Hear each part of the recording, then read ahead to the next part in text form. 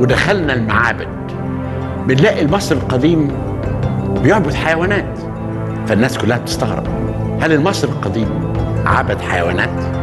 اطلاقا الكلام ده مش مظبوط. المصري القديم ما كانش بيعبد الحيوان للحيوان كان بيعبد الفكرة اللي موجودة جوه الحيوان.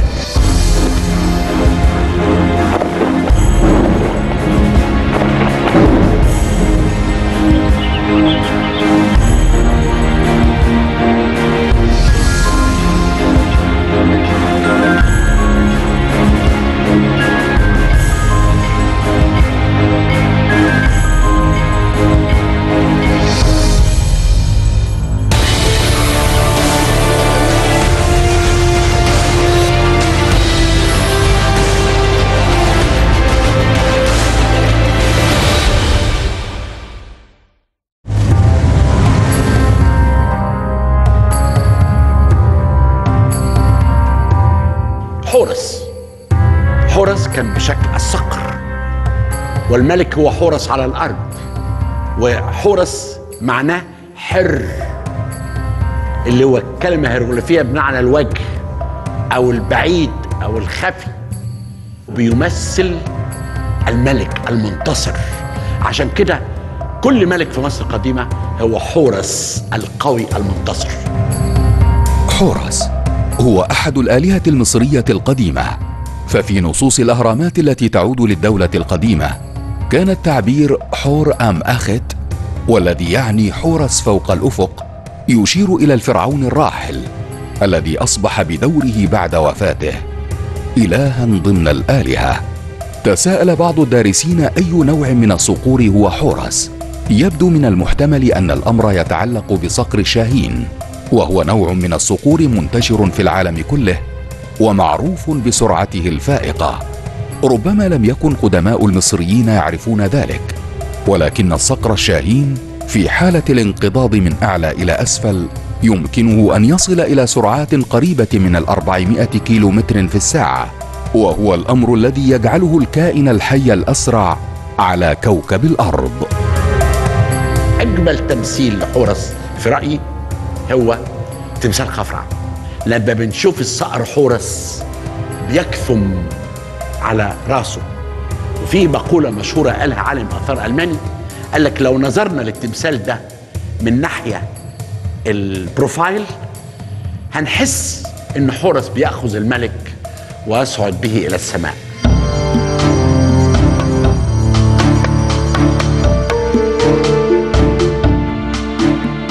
لكن الإله حورس لم يكن فقط صقرا فكان يمكن أن يحمل ملامح أخرى. أجمل تمثيل تاني لحورس هو أبو الهول. كان اسمه حورس في الأفق حور إم اخت حورس في الأفق. ولو شفنا تمثيل العمارة مع الفن والدين بنلاقي أبو الهول بين أفق خوفو وأفق خفرع. أي المصري القديم حتى أبو الهول ليشرق ويغرب بين أفق هرم خوفو وهرم خفرع. يصل طول تمثال أبي الهول الموجود في الجيزة إلى 73 مترا وارتفاعه 23 مترا ويعد واحدا من أكبر تماثيل العالم القديم. ورغم ذلك فإنه ما زال حول ذلك الأثر العملاق صاحب رأس الإنسان وجسد الأسد العديد من الأمور الغامضة. متى شيد بالتحديد؟ وما الهدف من تشييده؟ هل كان وجهه يمثل أحد الملوك المدفونين بالأهرامات خلفه؟ توصل العالم مارك لينر عن طريق إعادة بعض الترتيبات على الكمبيوتر إلى فرضية أن الرأس كانت للملك خفرع. وإن كانت الرأس على العكس تمثل خوفو وفقا لنظريات أخرى. وربما كان أبو الهول يمثل رابطا بين الملكين واضعا كليهما في علاقة مع حركة الشمس. حاجة عبقرية رائعة للمصري القديم. إزاي يعمل العمارة عشان تخدم الدين ويبين حرس وهو أو, أو إله الشمس رع آه، في شروقه وغروبه بين أفقي الهرمين.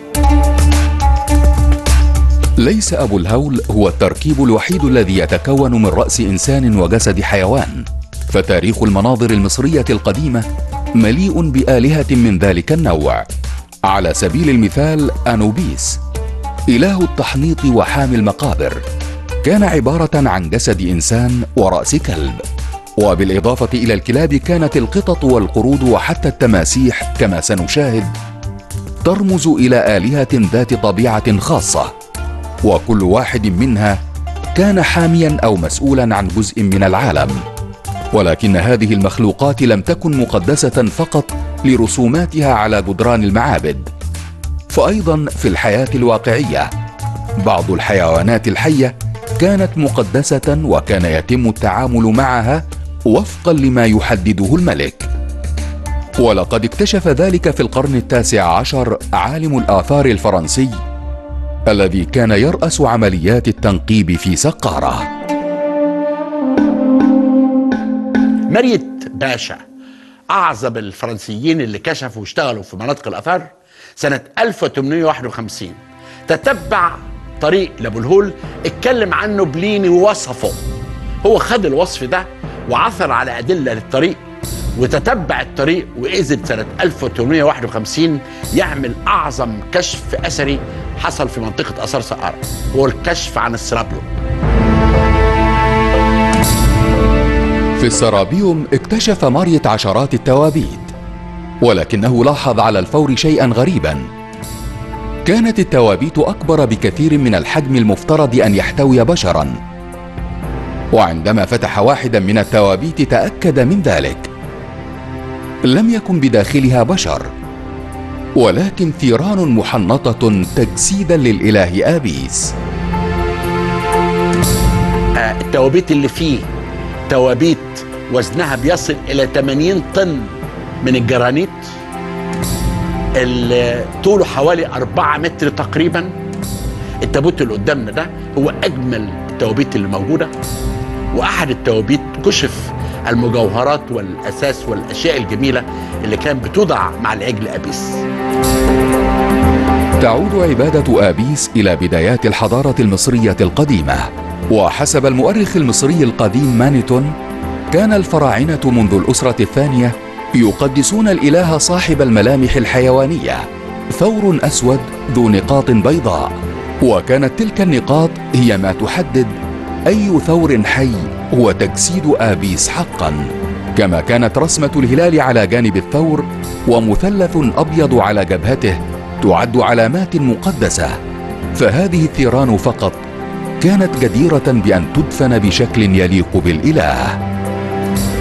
كان في معبد أو مكان للتحنيط الورشة بتاعت التحنيط.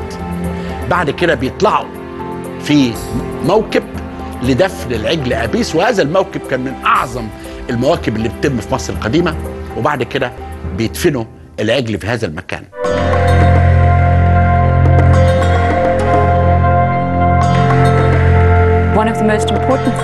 واحدة من أهم الأفكار عن عبادة الحيوانات في مصر القديمة هي أن الحيوان هو تجسيد للآلهة. فإذا كان لدى أحد الأشخاص سؤال عن المستقبل أو الحساب أو عن الممتلكات أو حتى الميراث. يذهب إلى الإله في معبده عوضا عن الذهاب إلى القاضي. ويقوم الكاهن بتكهن أو تفسير حركة الحيوان. لذا على سبيل المثال إن سئل حيوان كالثور المقدس أبيس سؤالا فسيحرك رأسه أو يومئ أو يصدر صوتا ما. يفسر الكاهن تلك الحركة ويخبرهم ماذا عليهم فعله أو طريقة حل المشكلة التي جاءوا من أجلها. وليس فقط الحيوانات الحية هي التي كان يطلب مشورتها بل أيضا الحيوانات المتوفاة كانت تقدم النصيحة وتطلب شفاعتها. كما أن مناظر تلك الحيوانات المقدسة كانت تستخدم كوسيط روحاني.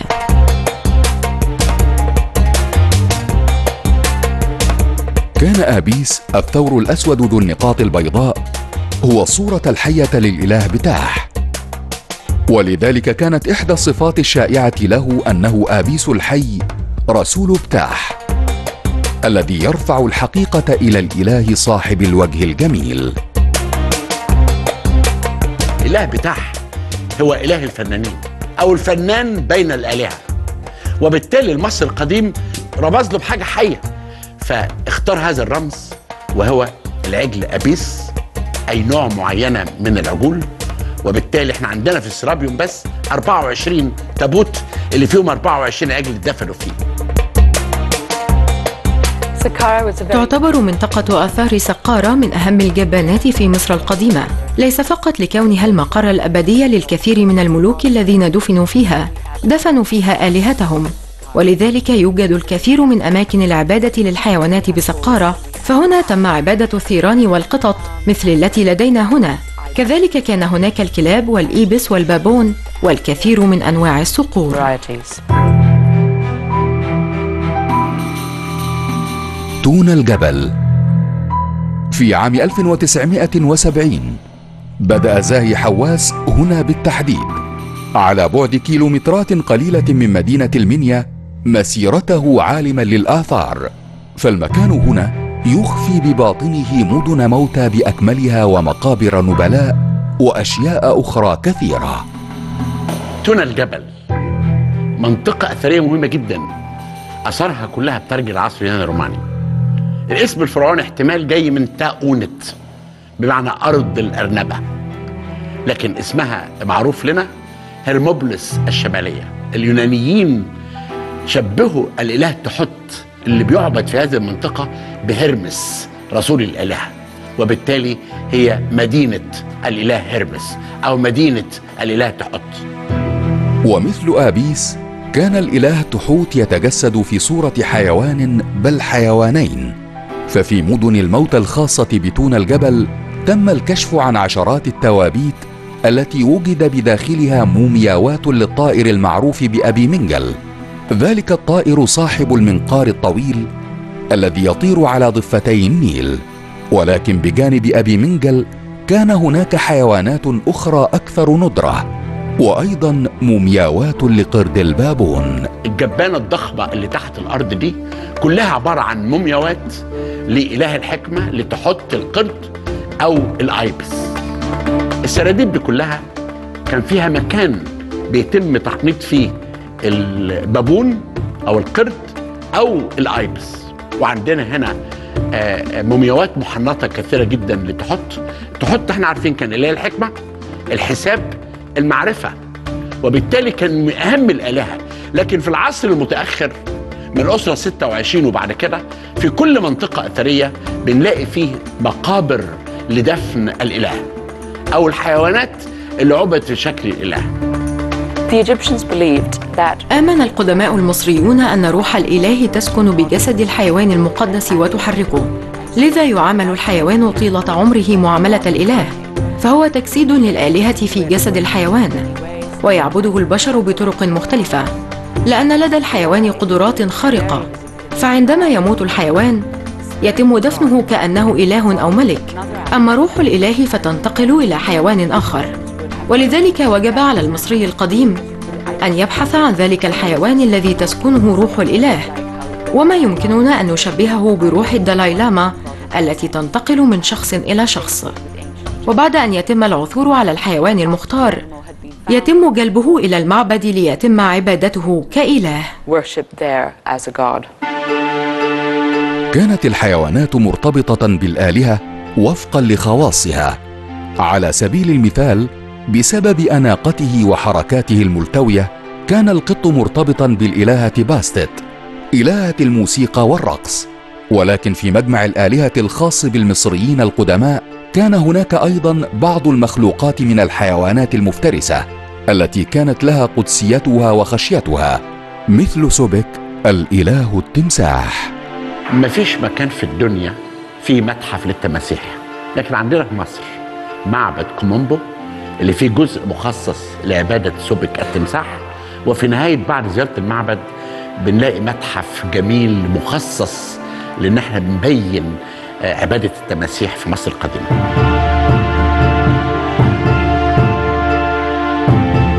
كان يتم تمثيل سوبك سواء عن طريق تمساح كامل أو عن طريق شكل جسد إنساني يحمل رأس تمساح. وكان هذا الإله يمثل قوة الفرعون والخصوبة والمياه والقوة العسكرية. كما كان القدماء المصريون يعبدون سوبك باعتباره الحامي ضد مخاطر نهر النيل. المصري القديم وجد التماسيح بتهاجم الناس في النيل. التماسيح لو مركب غرقت بتهاجم الناس. إلا في منطقة كومومبو. عشان كده الناس كان بينهم صلة طيبة مع التماسيح فعملوا لهم هذا المعبد. وفي نفس الوقت سوبك بيمثل الشر. فالمتحف ده بيظهر سوبك في أشكال مختلفة. آه، كتمساح المصري القديم بيحط علامة معينة في تمساح معين ده اللي بيعبده. ده رمز للشر أو رمز لسوبك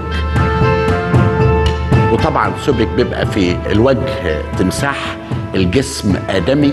وأجمل حاجة لو شفنا في المقدمة بنلاقي مجموعة التماسيح وهي جنب بعضها ودي التماسيح اللي عبدها المصري القديم اللي فيها حاجة معينة في كل تمساح لما بيموت التمساح المعين بيجي واحد تاني بيتم اختياره وبيعبد. على هذا الأساس التماسيح كلها محطوطة بشكل كأنها بتقفز على نهر النيل. يا ريت نزور هذا المعبد اللي صممه الفنان المعروف محمود مبروك.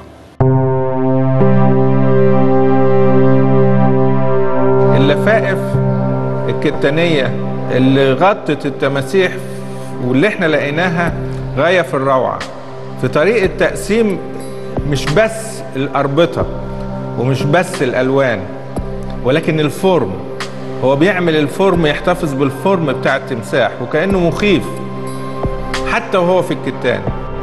ويغطيه ويمشي مع الخطوط بتاعته الإنسيابية وبدل عيونه يعمل له ارتفاعات عينيه مش مرتفعة كده يعمل له من جوه زي خدعة إنه العين كأنها صاحية ويروح ملونها على طبقة من الجص الخفيف ويلونها كأنها منورة وصاحية وكأنه عينه ذهب. كبر وشب الولد وما عادش يغوى السواجد وشبهك يا بلد بغريب بينده ملاجي سيبوه. الفيلم المشهور اللي اسمه شيء من الخوف. نتذكر قوي هذا الفيلم ونتذكر القرية اللي اتلقى فيها أجمل آه، تقديس لسوبك. القرية ديت أرمنتو قريب من الأقصر ونلاقي آه، إن لا يوجد أجمل من التمثال بتاع آه، أمنحتب الثالث وجنبه سوبك. ولكن الحيوانات التي كانت تعد مخيفة أكثر من التماسيح في مصر القديمة كانت الخيول التي رآها المصريون للمرة الأولى في حربهم ضد الهكسوس في القرن السابع عشر قبل الميلاد. الحصان ظهر من أواخر الأسرة ال 17 وبدايه الأسرة ال 18 دولة حديثة. إن إحنا لو لو شفنا مناظر معظم مناظر معبد الكرنك هنلاقيها مناظر للحروب. وطبعا أكيد كلنا عارفين فكرة الحرب مع الهكسوس. هم الهكسوس هم اللي استحدثوا الحصان في مصر أو هم اللي دخلوا فعلا الحصان في مصر جايين من من آسيا بالحصان وهم في البداية نجحوا إن هم يقوموا بهزيمة أو كسبوا الحرب ضد المصريين وتبقوا فعلا احتلوا طل الضبع أو عريس. لكن بعد كده مصر القديم عرف إن الحصان ده ممكن يستخدمه واستخدمه بشكل أساسي في الحروب وفي العجلات الحربية. أيام قصة محمد علي في مصر الحديثه كان في حاجة اسمها حنطور. الحنطور ده اللي كان بيجر الحصان برضه. هي هي حنطور لو بصينا له هو هو نفس شكل العجلة الحربية. العجلتين اللي قدام اللي بيجرهم بيجرهم حصان من قدام والراجل اللي سايق قاعد على مقدمة العرب. ورا الحصان على طول. وعلى الرغم من أنها ليست كثيرة الاختلاف عن الخيول المرسومة على المعابد مثل معركة قادش فإن أفضل الخيول المصرية في عصرنا هذا تعود جذورها إلى الخيول العربية الأصيلة التي وصلت مع الفتح الإسلامي لمصر. الخيل العربي ده الجمال. ده بنقول عليه الديش لازم تكون في دي قوي كل ما دي يكون الكرف ده قوي بيكون أحسن في الخيل العربي. والوش بيكون صغير والمناخير طبعا بيكون هنا المنفخ زي ما انت بياخد نفس وكده بيدي لك صوت نفس أعلى. وهناك حيوان آخر يظل منذ أبد الدهر اساسيا للمصريين ولكنه لم يصل لدرجة الألوهية مطلقا ولم يكن يعتبر جديرا بالاهتمام قط. ومع ذلك ربما من دونه لما كانت الحضارة المصرية القديمة باقتصادها الزاهر على ما أصبحت عليه.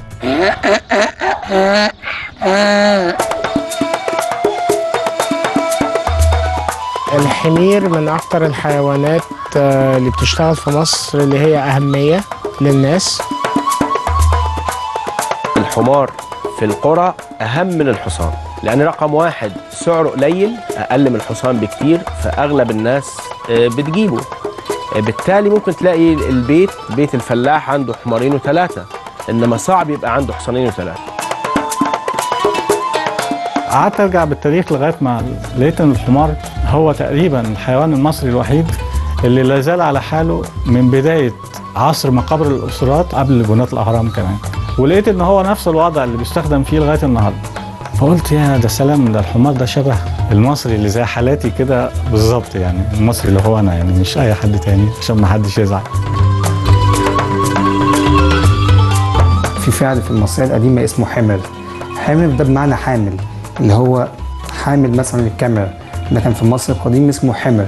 فاللي هو أنت من كتر ما انت يعني إحنا بنقول من كتر ما أنت شايل شغل فأنت بقيت عامل زي الحمار. بس دي كانت جاية فعلا توارثت اللي هو أنت بقيت متحمل كتير جدا. لكن فكرة الحمار آه، زمان ودلوقتي هي هي نفس الفكرة استخدامه في الزراعة. بس مش مش قصده بيه. يعني إحنا لو دلوقتي مش قصدنا إن هو حمار شغل يعني.